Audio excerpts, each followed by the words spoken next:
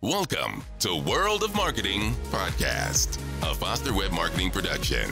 Here's your host, Tom Foster. Hello, everyone, and welcome to the World of Marketing, where I, Tom Foster, talk with industry leaders about marketing, mindset, and business growth. This episode is brought to you by my company, Foster Web Marketing. Foster Web Marketing is the premier provider of bespoke websites, marketing, video, and strategic solutions for elite law firms prestigious medical practices, and distinguished professional service businesses. Our unparalleled web technology and marketing systems set the gold standard in the industry, catering exclusively to a discerning clientele who demand the best. But today, I'm excited to have Robert Ingalls from LawPods as our guest. LawPods is a company that makes podcasting easy for busy attorneys. As a former litigator, Robert understands the complexities of marketing your firm. His team is trusted by international firms ranging from McGuireWoods and Blank Rome to local firms like the law offices John T. Orcutt and Marcellino and Tyson. With LawPods, attorneys can reach their audience over a new medium, position themselves and their firm as thought leaders in their space, and create a growing library of content that answers key questions from prospective and current clients. We'll be discussing LawPod's simple process and how they can help attorneys create successful podcasts. And here he is, the man himself, Robert Ingalls. Robert, thank you so much for joining the World of Marketing podcast.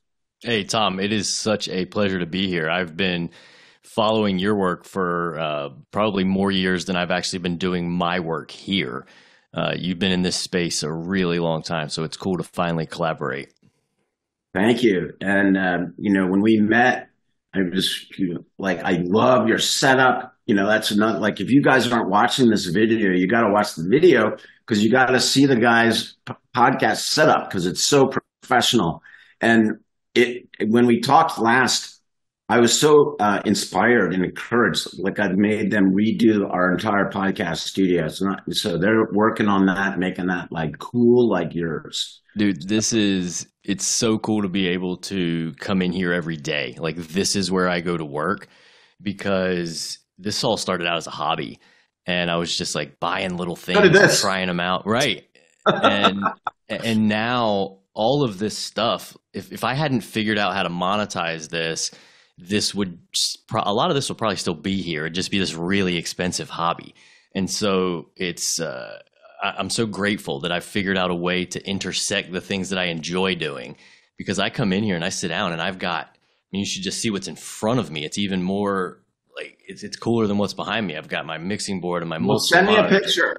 Send me I a will. Picture. I will. And like, I've got There's a teleprompter right here. Yeah, yeah, exactly. I'm, I'm like making eye contact with you while making eye contact with the camera. It's in my lighting. I love it. It's so cool. That's great. I'd like to see that setup. So send me a picture of that and we'll put that in the video. Okay. So tell us about your journey because I know what you did, but I want everybody else to know to becoming, uh, to starting LawPods and, and, and whatnot. So tell me the journey. Yeah. I mean, as you said, I was uh, a, a former litigation attorney. I went to school to be a criminal defense attorney. It was something I'd, had my eye on from a very young age. Uh, you know, I had a couple of years where I chased philosophy and religion in college, but that was very short lived. And but for the most part, I had my eye on that. I liked it from a young age. I grew up in outside Washington, North Carolina, uh, blue collar family, and the idea of being a lawyer was so sexy at that point. And you know with back then like they all had the mercedes with the big hood ornament. And i just you know going into court and seeing them was i don't know i just thought like wow that would be the coolest thing. And you know my mom we followed a lot. It wasn't even called true crime back then but it was essentially what it was. All the stories that were happening. And so we watched that really closely. And then i got into college. I enjoyed it. I decided uh, to go to law school focused on criminal defense the whole time. And then I got out of school and started practicing. And damn it, it did not take long for me to think I'm not sure I made the right choice here. And most of that was the the weight mm-hmm. of the types of cases I was dealing with. And the the general stuff didn't really bother me or keep me up at night. The larceny from Walmart and you know the possession and little things, but it was the violent crime, mm-hmm. the uh, the assault on a female stuff was the, the stuff that really weighed on me, and I was on the appointed list, and I got a lot of those, and that those were the ones that did keep me up at night, and you know I felt like I'm the kind of guy that likes to get along. I like to just have a pretty good relationship and be pretty happy with everybody around me all the time. It's just what I see as a good life. And on a day to day basis, I am showing up and being the champion for this person where we have this victim on the other side who, in many instances, I felt like really was a victim. Sure. And it's my job, it's my ethical responsibility to champion this person, undermine the credibility of the other person, and essentially be the villain in right. the movie. And oh, they, you know, the way that I could feel that energy, and I understood it, and it, uh, it, it, I, I made it almost three years, but there was a, a couple of cases in particular that I dealt with. Uh, one of them was just a consult that I took with my mentor, and it had to do with uh, child pornography. And my mentor explained to me what that case was going to look like, what the discovery process was going to look like. And I just kind of threw my hands up and I was like, I don't want to live the rest of my life like this. I just, this is not who I want to be. Uh, and I was, uh, at that point, I pivoted. I started doing just general civil stuff, kind of almost anything that I could get my hands on just to feel things out, but mostly general civil. But it didn't take long, a few years before the, just the constant conflict of it was heavy for me. And it was weighing on my mental health. It, I, during this period of time, I'd gotten married. We'd started talking about having a family, and I just couldn't see myself balancing all of that, being a good husband, being the kind of father I wanted to be, and also continuing this career, which I, I with all of this stress and all of this work and all of these hours, I still hadn't even figured out how to make money doing it, which added to the stress. And so I was looking for a way out uh, at, the, at, that point, and I didn't know I had no idea that we were going to fast forward, you know, almost nine years and I'd be sitting here doing this, but I knew I had to go somewhere. But you did that just on that note, you were like, how do I make money on this? How do I get clients? How do I get, and is that when you came up, well, I'm going to do my own podcast? Is that because you started doing it on just on your own, right? Yeah, man, I wish, I wish it was that direct, but I mean, it never is, right? right. Uh, no, I, along the lines of you know all of this stress and then we're family planning it, was when my wife kind of told me we're seriously family planning like essentially somebody might live here next year right? And that was that was the moment that kind of sent me on a path because i kind of had a little bit of a proper freak out. Uh, i think mostly unbeknownst to her at the time. But i just i was like i can't do this. And I sat down and I made a list of things that I just had to get together. And at the top of the list was money because for me at that time, like without that, none of the rest of it mattered. And so I read a book about money. And I, up to this point in my life, I wasn't the kind of person that, um, at the time, I would have called it self help. I just wasn't that kind of person yet who read those kind of things, but mm-hmm. I knew I had to do something. And so I read that book. And then they had another book about leadership, and so I I read that one. And that book said we have a podcast you should listen to. It's called EntreLeadership, Dave Ramsey. And I I never listened to a podcast. This is September 2015. And I, I took out my phone. I know exactly where I was sitting. I took out my phone and I listened to the podcast. I listened to one episode. It wasn't really necessarily for me, but I'm already there. I listened to like the next recommendation. And Tom Bilyeu was the guest the first guest on the show called Awesome Office, Tom Bilyeu, founder of Quest Nutrition. And it was all about mindset. a concept I'd never really heard about, or at least never noticed. And it it hit me. And the, the real takeaway that I heard was you can do anything you want with your life. It doesn't matter where you've been or what you've done. What matters is what you decide you want to do today and what you're willing to do to get it. And I mean, that's trite. We've heard it our entire life. But I, I heard it. I heard it. And and I thought, I I think I can do anything. And I had no idea what it was going to be at all.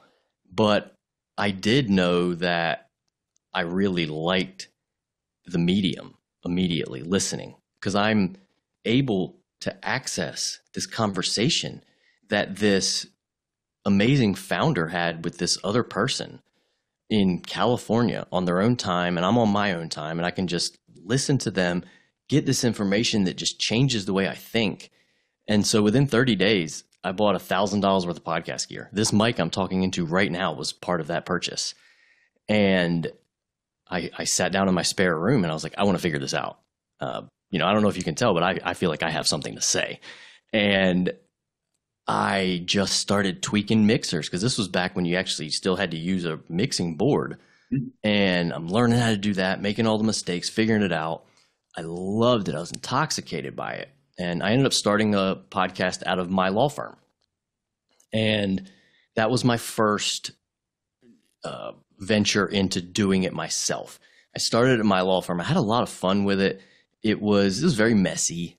Um, I had a hard time actually talking about the law on my law podcast because, surprise, that's not really what I cared about.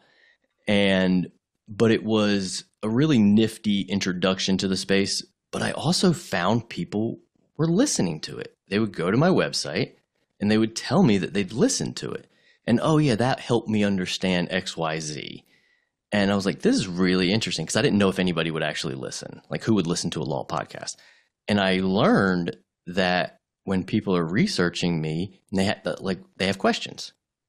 Mm-hmm. And I learned that they were going and using this to get answers to those questions. And then when they would talk to me, they already had a sense for who I was.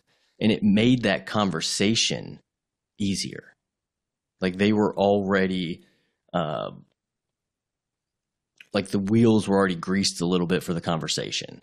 And that was really interesting. And I just found it was cool. I was like, people are listening to my podcast, which you have a podcast. You know how cool that feels when people are like, I listen to your podcast. That's, a, that's my yeah, love language. 100%.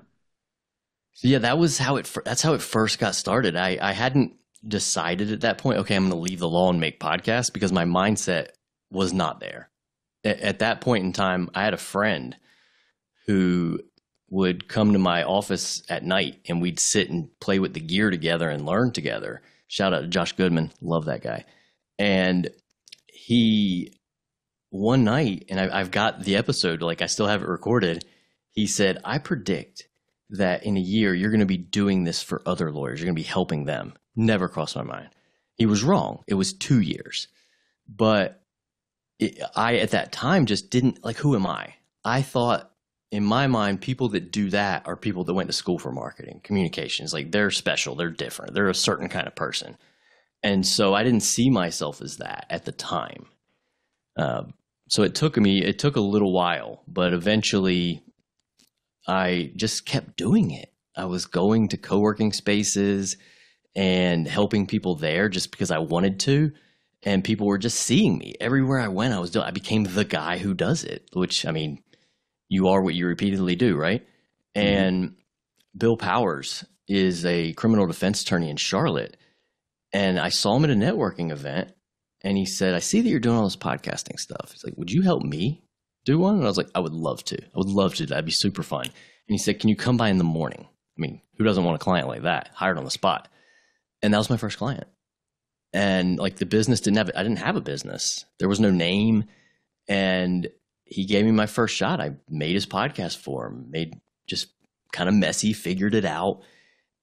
And it went from there. I was like, I think I have something here. I'm going to like try to see if other people will hire me. And you were still practicing, you're practicing lawyer at the time, right? So you're kind of like doing yeah, that, not happy doing that.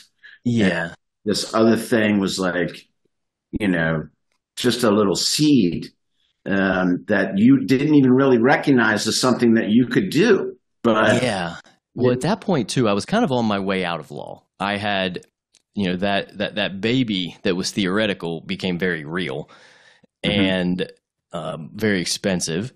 And but I knew I was like, okay, I've got to rip this law band-aid off. I've got to get out. It's not. This just isn't going to work. And so I started closing up the practice and trying to hustle about and make money. I was charging people a little bit of money here and there to like teach them how to make a podcast, but it was peanuts. And I had not found a real consistent revenue stream yet.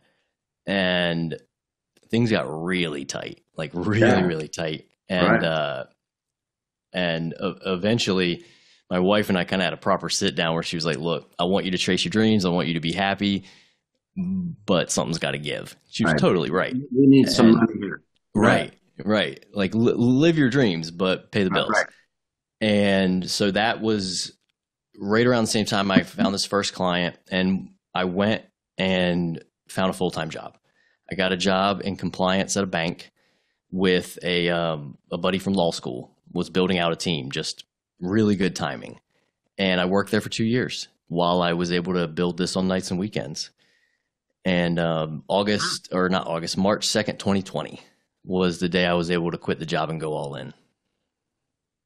Wow, that is great. And there's so many nuggets in that story. Like one, and this is great for everybody listening because, and I talk to lawyers all the time, and I can tell that they're, you know, many of them are a lot like you. They have, you know, they're struggling with um, uh, what they're doing. You know, they're struggling with that whole, whether it's boring whether it's you know too transactional whether it's like i don't really enjoy being a criminal defense lawyer for the reasons that you said um, or or they just have other interests. And what you have done is like just like you listened to other you know other people giving you permission to chase your dreams like what you're saying that, that I want everybody to hear is that you're not stuck being a lawyer if you don't want to be a lawyer, right? Just because you went to law school, just because uh, you know you thought you wanted to be a lawyer all your life, when you're actually in it, you don't have to do that. There's other things that you can do, and the whole point: follow your passion, because whatever you're going to be passionate about is where you're going to make the most money. You're not if you're not passionate about practicing law, then you're and you're doing it, you're just not going to be able to. You're not going to be successful. Would you agree with yeah. that? Yeah, and, and it's where can you help the most people with your unique skill set? Right. Is that's how it was for me. Is I when I was helping people, and I, I, definitely did. I helped a lot of people in tough situations while I was pricing law, and I feel very good about that. But it took a lot more from me than it gave. And it wasn't sustainable. And then I found this area where some days it's effortless, where I can just give, I can have a 30 minute conversation sometimes with somebody and I can provide so much value to them. Just, I mean, a strategic comment, you know very well, having a legal marketing company, mm-hmm. one 30 minute strategic conversation can be worth tens of thousands of dollars to somebody who needs to understand and work through direction and understanding how can I provide value. That was an incredible thing for me to come to understand. I can take my unique gifts, the things that I'm really interested in, and provide sometimes exponential value to, you know, as a return for people. And when you can do that, it is, uh, it, it, makes the rest of your life a lot more um, uh, palatable, navigable, just easier to deal with. Yeah, yeah. I mean, because yes, hundred um, percent. Okay, so give people, you know, everybody, we're giving you permission. Whoever's listening, to do what your dreams are, or to if you're not happy with what you're doing, like we're giving you permission to look elsewhere, right? Yeah. Because it's not like you were like, oh, I'm not, I'm, uh, you know, I'm unhappy doing this type of law or, or being a lawyer. Period. Because you said I tried this kind of law, I tried this kind of law, and just none of it, you know, spoke to you. Um, and you're not going to, it might not be an exact, oh, here's what I'd rather do. Uh, and cause you didn't know it right away, right? You didn't know it. You didn't, you, you couldn't put the pieces together. And it's a lot like how I built this company, right? How I built, um, Foster Web Marketing. Like it started off as a hobby and, and, and, but I was passionate about building websites and I met somebody that launched me and pushed me and made me, you know, feel like I could do it. But it's a, that, it's a journey that, of discovery. Exactly. And that is one of the, uh, and you said some other things about mentors. And um, don't be afraid to reach out to people that you respect. In they don't have to be another lawyer or a doctor; they can be in other areas. But you just have respect for them and get their advice and opinion. You know, because um, they could open up your mind to things that you haven't thought about before. And so, oh, absolutely. So, who are you've named a couple people, but who are some of your biggest mentors? Oof, uh, that's that's great. I mean, throughout my career, there have been so many. Uh, you know, when I got into this space, I feel like a lot of my mentors were uh, were people I don't know, which mm-hmm. is such a cool part of the moment that we're in. Uh, you know, books have been around for a really long time. You could always read somebody's book, but it's very different than being able to spend literally hundreds of hours consuming their content on your specific issues. And the people in the beginning, Tom Bilyeu was a big one. There was a lot of mindset work that I needed to learn because getting my mindset ready was the most important thing to be able to even take the step to do it. And then, you know, Tony Robbins is an OG. He's been around in the space forever, but uh, following his work was really helpful. Gary Vee, I think, mm-hmm. um, you know, he gets a lot of hate from people, but his finger is on the marketing pulse. I mean, you can. He, he's he's not. That guy's got balls. That's why, and he says what he wants to say. That's yeah, why. But he gets it both. Yeah. He's he is so frequently right about his predictions on the future and just I mean he was hot on podcasting way early. I mean he was pushing Musical.ly is what it was called at the time, which is now TikTok, like before anybody had even heard of it. And he and he was really helpful to teach me how to think about attention, how mm-hmm. to think about approaching marketing and what it really is the goal of it. What are we trying to do? Why are we doing it? Who are we doing it for? How does it turn into money? And and now when I look at the world, that's what I see you know, I look at a piece of marketing, and that's, that's I'm, I'm, always doing that analysis, and he was a big part of that. And then getting into this, you know, space specifically, uh, you know, early on, uh, Chris Dreyer, I relied on him as I was figuring out how to actually run a business in the legal marketing space. Uh, we connected years ago, and he had. I always found his story fascinating. Uh, he was, you know, a detention uh, teacher at a high school, and was learning SEO kind of himself on the side and then worked for a company and was like, I think I can do this myself. And um, so I, when I was going through those growing pains in the early years of trying to figure things out and like, what the hell am I even doing? Um, he was somebody great to rely on, but it was also nice to hear from people like, hey, none of us knew what the hell we were doing because you don't know that in the beginning. You don't realize that everybody started kind of in a similar area of just, yeah, we're figuring it out. We sold it to one client, we figured out what worked, we sold it to another, and we just built it little by little, made the mistakes, got it ugly. Everybody makes mistakes too. That's the other thing. Yeah. Well, you think you got to be perfect. You're afraid to make a mistake. Yeah.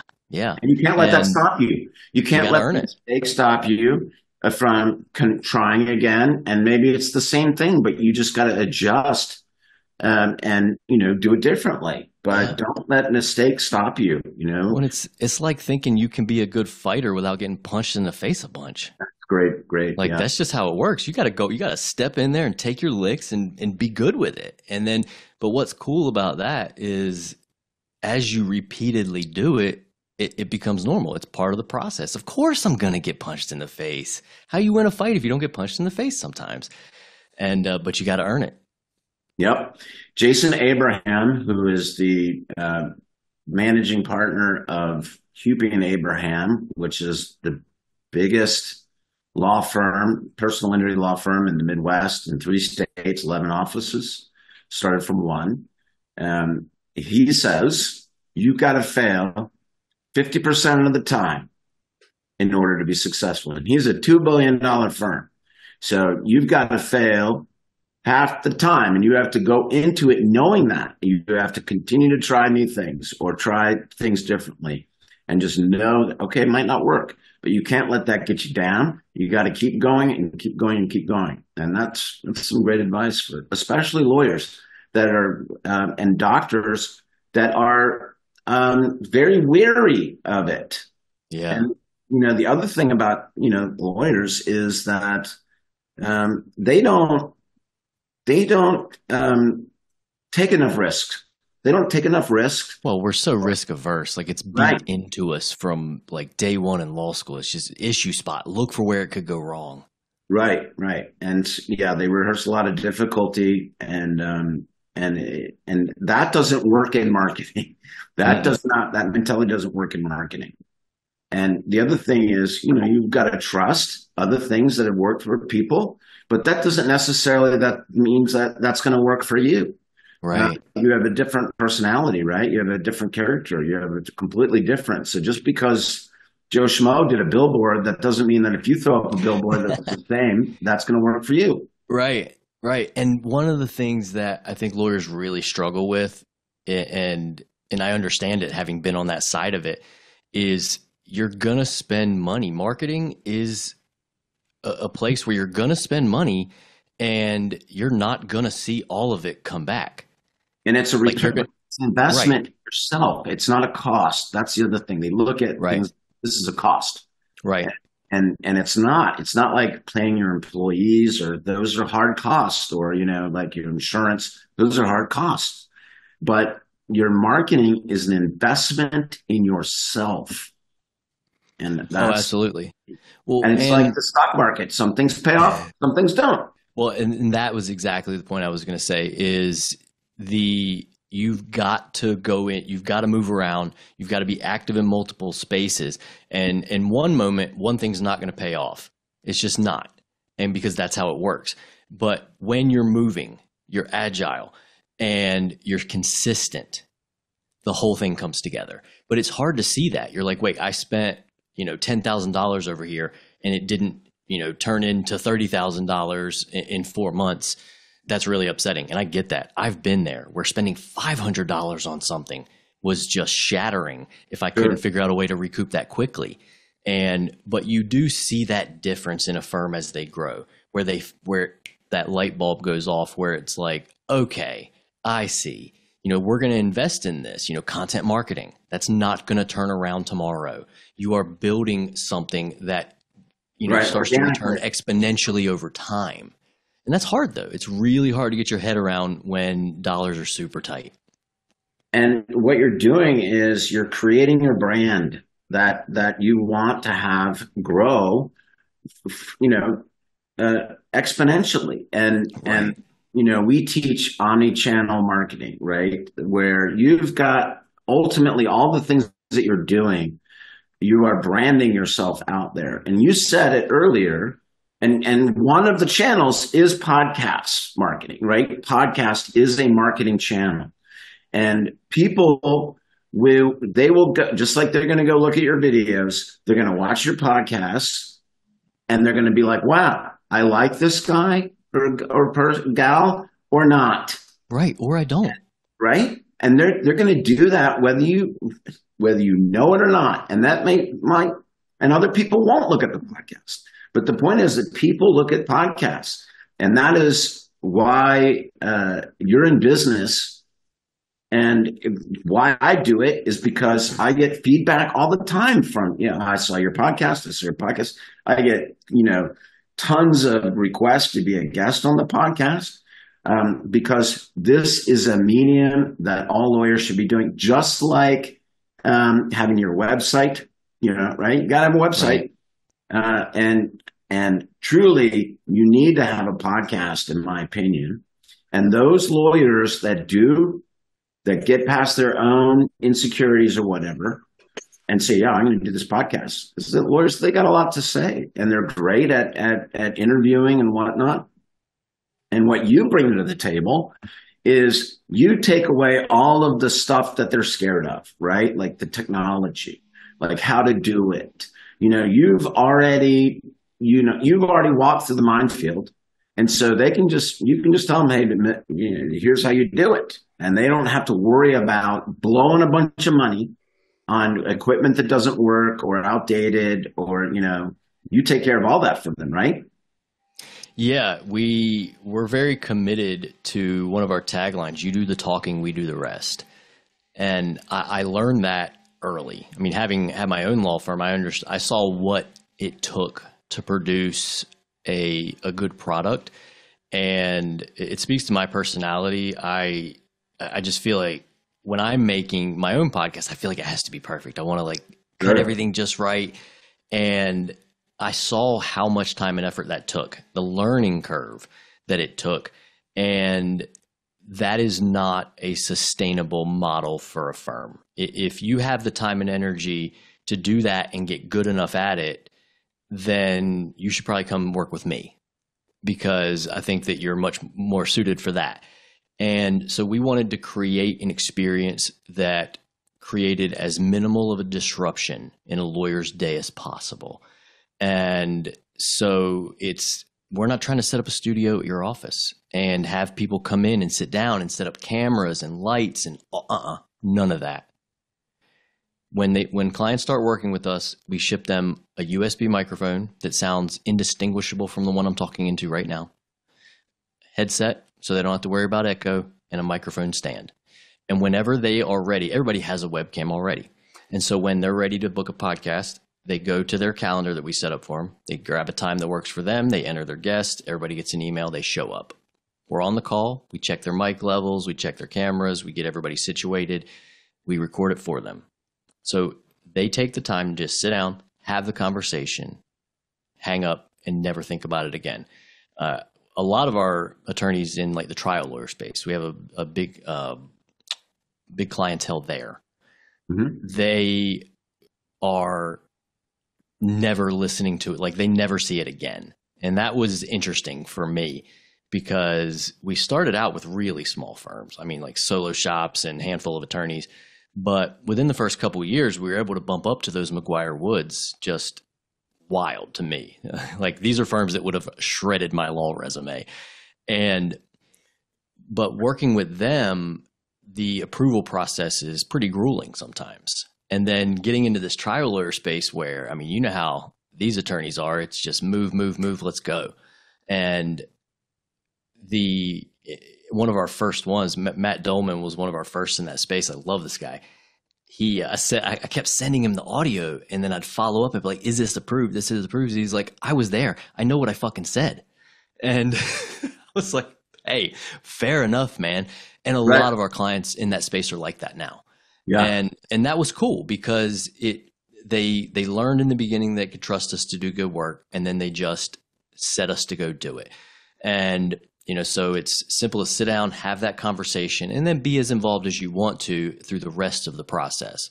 But then that simple conversation that we're like we're having right now turns into the podcast audio on all the platforms. It turns into a, a full length video for YouTube. It turns into video clips with branding and captions on Instagram Reels and YouTube Shorts and TikTok and LinkedIn and wherever, all from that 30 minute conversation that you're having. It just proliferates into all of this content. And our job is to make it that simple. And you provide all that. You do all that for them. Yes. You, yeah. they never think up. about it again. And you work with uh, the social media, their social media um, pages, and you work with their website, right? And their agency and their provider, right? Yeah, it it de- depending on who they have. You know, we will also post it to their like we'll do the social media distribution for them if they want. And so whatever level the firm is, if they have a social media company, a web company, we will provide all those assets to them as throughout production so they're able to roll it out themselves. And you work with one, and this is how we met. You work with one of our elite clients, Dirk Derek, Derrick Law. Love that guy. Yeah, he's fantastic. He is. He's another one that built, you know, from one. Now he's got 13 offices, I think. he's all over the place. He owns South Carolina. I mean, like Yeah. he's just done a fantastic job. Yeah, he's a fun guy to talk to. And he's a perfect podcast guy. Perfect because he's just who he is. You know, he's just such Yeah. a cool guy. He is. And I mean, look at him. He's so slick. I know he's great. Um, and if you don't know Dirk Derrick, everybody go to Derrick Law and check this guy out because he is he's fantastic. Um, and talk about a mentor. So all of you PI lawyers that are young and trying to figure it out, go talk to Dirk Derrick. He'll talk to you and he'll tell you um, whatever you need to know. Same with Jason Abraham. Loves talking to young lawyers getting started and and are having issues. When I will, I'll take a second to plug Derrick. He is uh, launching a private podcast for members of the South Carolina um, Plaintiffs Bar.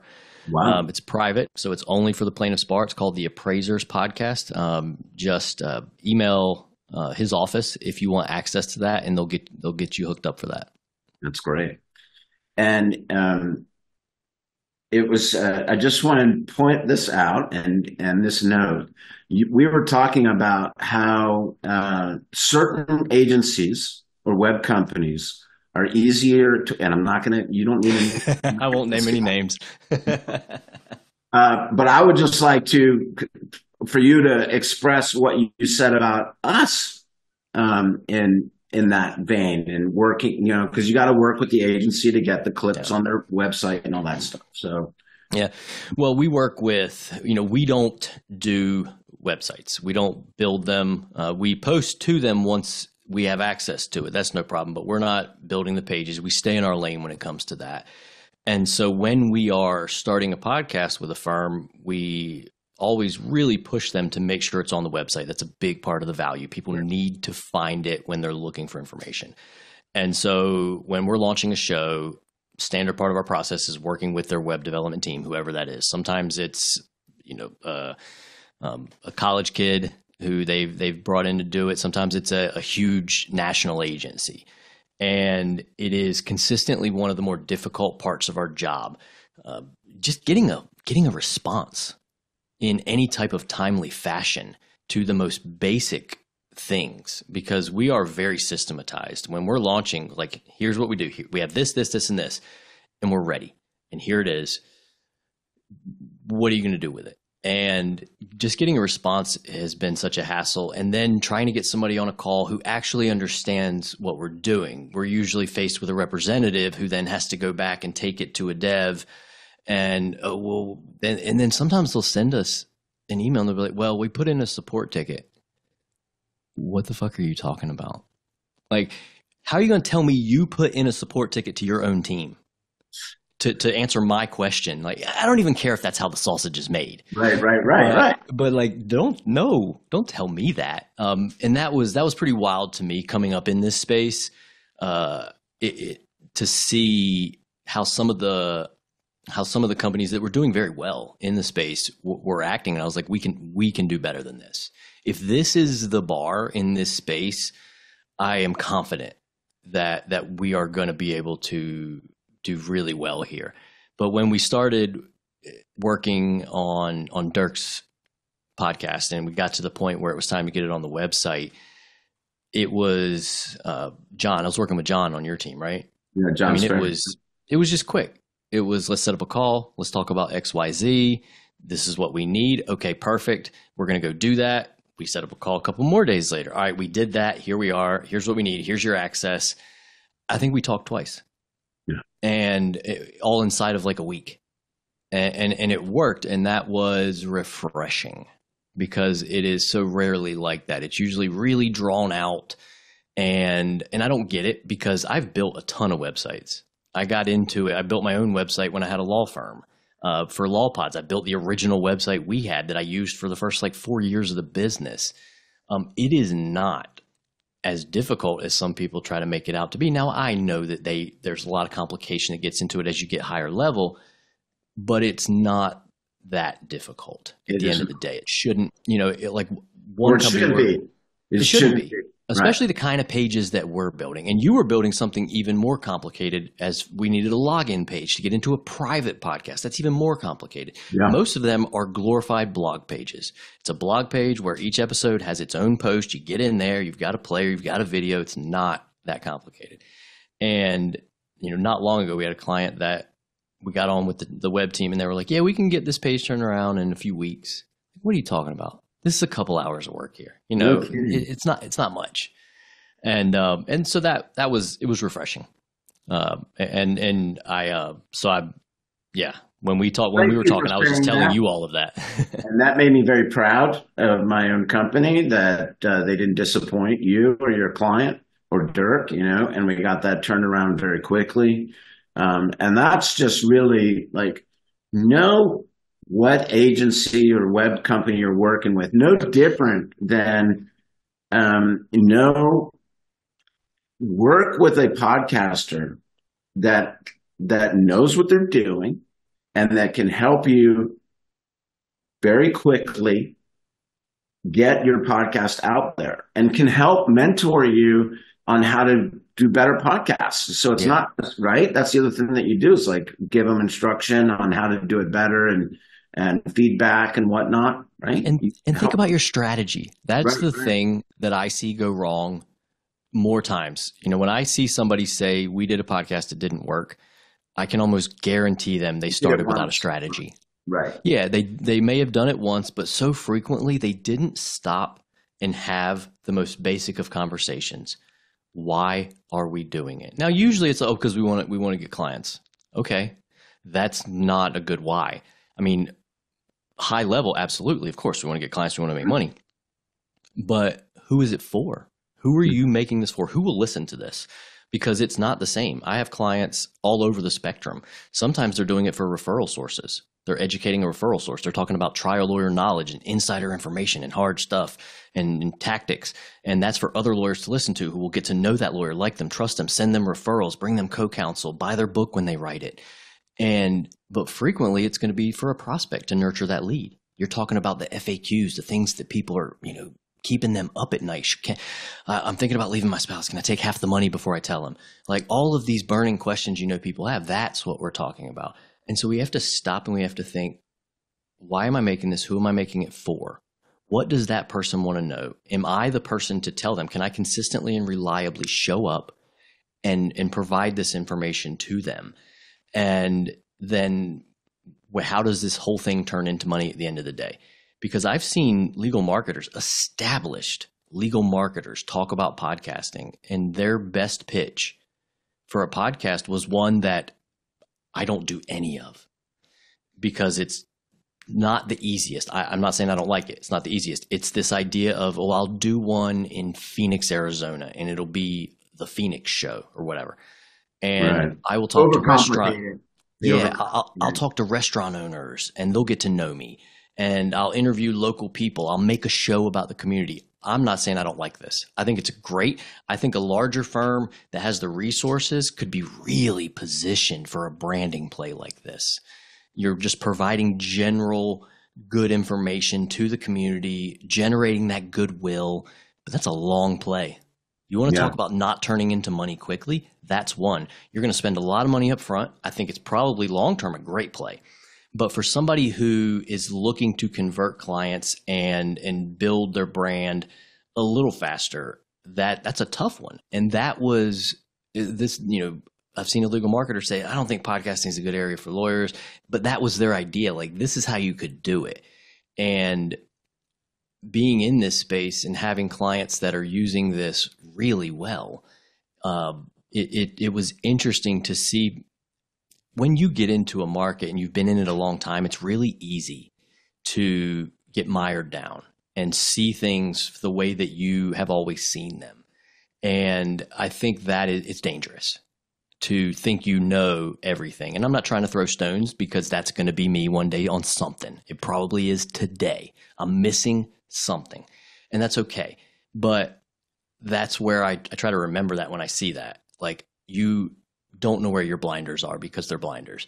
And uh, yeah, a hundred percent. I learned a lot from you. Like I, like when I first met you, and I was like, wow, I'm doing all this wrong. Like I got a background. I've got to, you know, like I got to get a better mic. I got to get, you know, all this kind of other stuff because like I'll do the podcast from here, my office.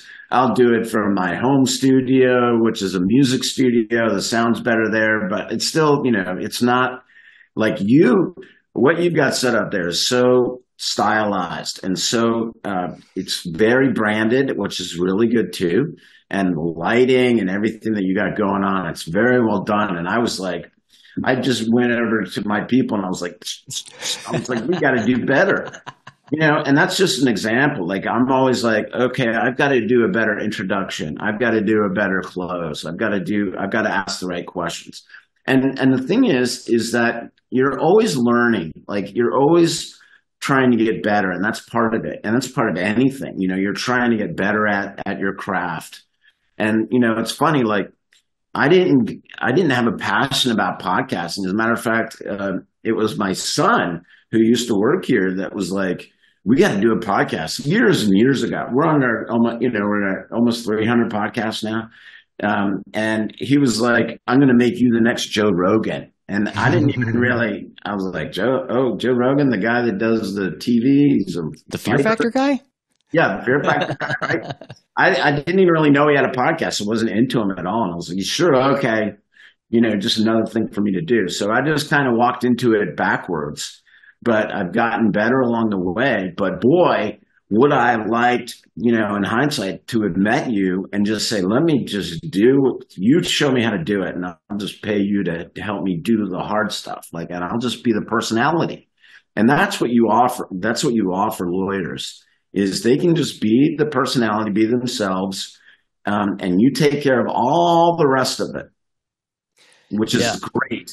I, I think the important part here is you didn't have any of that, but you did it anyway and you have gotten tremendous value. You didn't have the perfect microphone. You didn't have the lighting. You didn't have all of the the bells and the whistles. But the thing is, I didn't either. This isn't, I mean, I got this good mic, which says a lot about my personality. I should have a $300 mic 30 days after I listen to my first podcast, right? um, but, but I didn't need it. But I started really um, simple for the most part, but that is okay. It's okay because look at you. You're, you're uh, more than a couple hundred episodes in, and you've gotten all this tremendous value without making sure everything was just perfect and the most professional it needed to be. And that's the lesson that I want other people to remember is like, don't buy all the things and do all the planning and making it like the most impressive Joe Rogan product it can be. Start it. Create yeah. something of value. Say valuable words because that is what's valuable about the podcast. The rest of it comes.